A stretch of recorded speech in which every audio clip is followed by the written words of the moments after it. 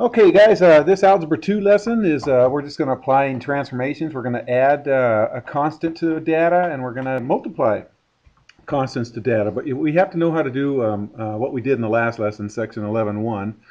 Um, so let's go ahead and just review. So given the data, 7, 12, 16, 20, and 20, uh, the mean of that data I've calculated for you is 15, the median is 16, the mode is 20, the range is 13, and the standard deviation is 5. Okay, so what I would like you to do is add 10 to each of that data and then recalculate all of that above.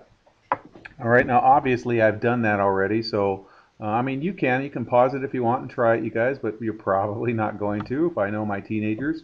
So um, uh, if you add 10 to all of these, so uh, 12 plus 10, 16 plus 10, oops, 7 plus 10, I added 10 to all these.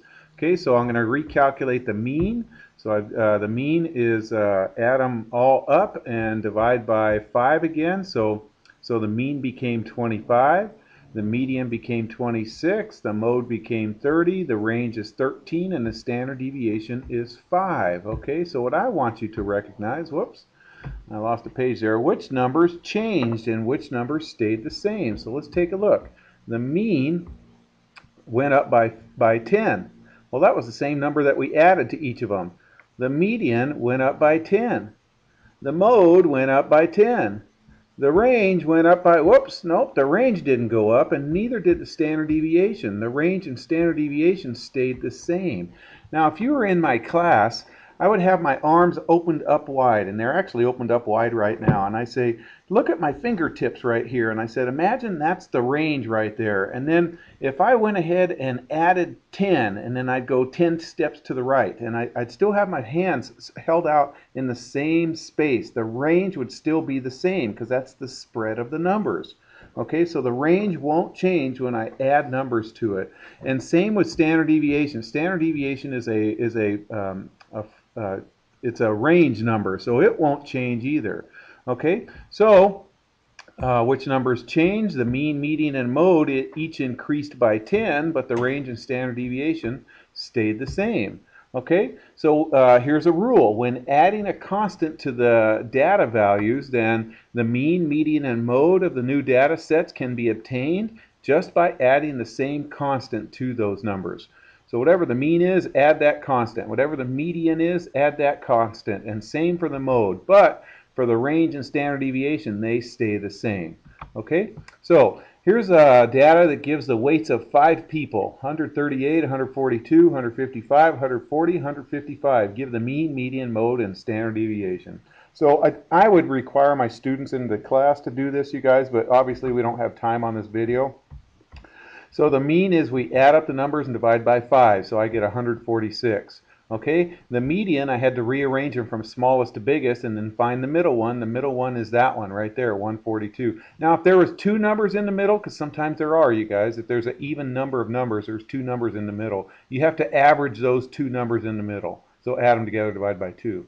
Okay, but anyways, the median here is 142. The mode is the one that we see the most, the 155. The range is the big number minus the small number. Okay, and then standard deviation is each number minus the mean, minus this mean right here, squared. Okay, so 138 minus 146, and I did 142 minus 146 squared. 155 minus 146 squared, 140 minus 146 squared, and finally this one minus the mean squared.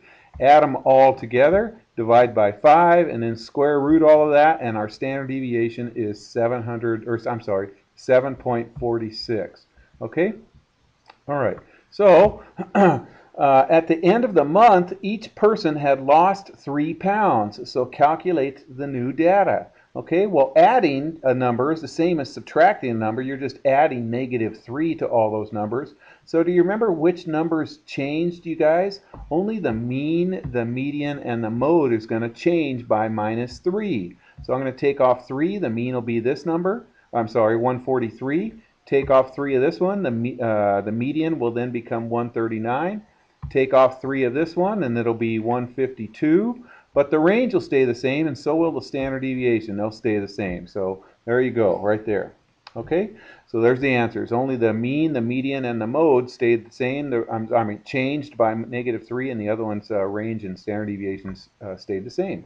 Okay, now the uh, the rule on when multiplying your data sets uh, by some constant value, everything gets multiplied. The mean, the median, the mode, and the range, and the standard deviation. It gets uh, multiplied. So find the data in, in part of section C of the five people for their starting weights in kilograms and then notes that one kilogram is approximately equal to uh, 0.45 pounds. So I have to multiply all those numbers by 0.45. And what you can do is you can go through and multiply this times 0.45 to get it in kilograms, this times 0.45 to get it in kilograms, and so on, and do that, and then calculate the mean, add them all up. Or, check it out, since I already have this number, just multiply that times 0.45, that times 0.45, 0.45, 0.45, 0.45, and that's going to get me all the answers right there. So here we go.